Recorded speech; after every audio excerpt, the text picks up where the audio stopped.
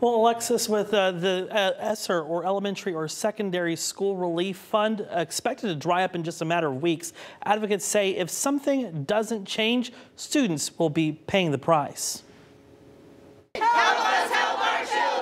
Dozens gathered outside Hartford City Hall Saturday, calling for elected officials to pour more funding into local schools. We think that the state and the municipality and the federal government need to stop making excuses and make commitments to real solutions to our public schools because that is the future of our society. With COVID relief funding set to expire this month and communities across the state cutting money from their education budgets to prevent a rise in taxes, schools are underfunded. Students are concerned that the cost cutting will continue. Now that we're losing funding when we got for COVID, it just raised the question when is it going to stop? Advocates say students will pay the price.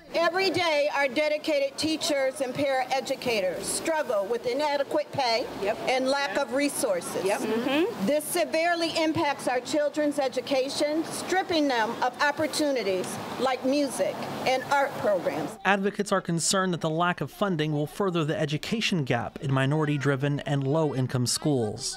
Don't act now, we risk losing public schools as we know them.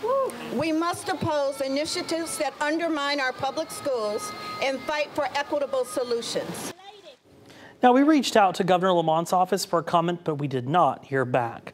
Reporting in studio tonight, Jake Garcia, Fox 61, Connecticut's news station.